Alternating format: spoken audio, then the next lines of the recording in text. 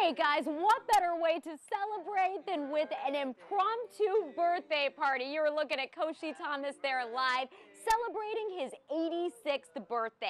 Thomas has been the publisher of Voice of Asia since 1987, so we are talking about 32 years of running the largest Asian American newspaper in the entire state of Texas.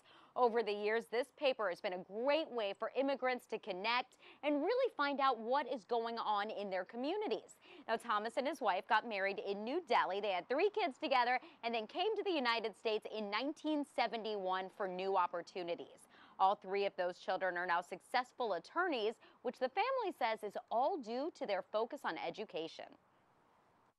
I can give you books, but not the Nike. Because it's 40, 50 dollars. I don't have that money to do it. So, so attention was to uh, their education.